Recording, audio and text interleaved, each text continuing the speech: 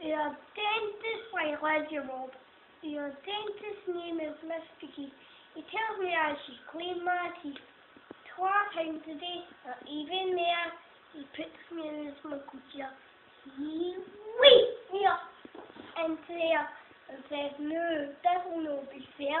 Ah, uh, my mouth is open wide, he stares at me while I say a bite hole here on holiday.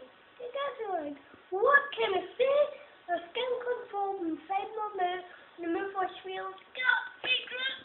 Ah, thanks the dentist says bye. You know, no he falters like that. cool in the gang.